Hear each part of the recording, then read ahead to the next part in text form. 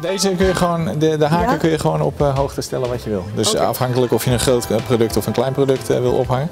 Ik heb er eh, een aantal in gedaan en uiteraard je kan er zoveel gebruiken als je wil. Oké, dan kunnen we gewoon zo. Aan de, de, ik heb lange haken en korte haken. Dus Ja?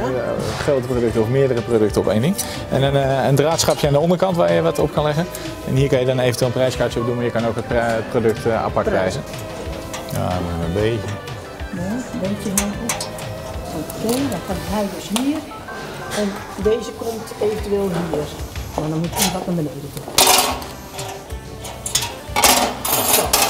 Juist, dus zoals met die knuffels die je niet op kan hangen, die kan je er bijvoorbeeld hier inschrijven. Oké, en, en dit zijn die... Ja, dat zijn die strips. Oké. Punt 2.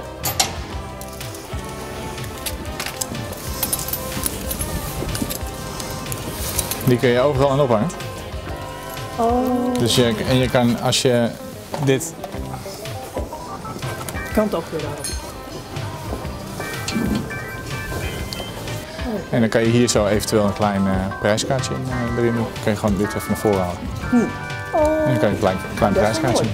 Je kan uiteraard ook de producten zoals wat je nu gedaan hebt gewoon apart prijzen. ja, ja, dat is wel leuk. Maar als je dezelfde producten erop hebt hangen, dan kan je ze dus eh, allemaal één prijs geven. Oké. Nou, dat ziet er wel mooi uit, hè? Ja toch? Vind je Ik vind het wel. Leuk. Nou, wij hebben het jaren gebruikt. Ja, nou, Maar we hebben het nu eh, geïntegreerd zitten in de kassa.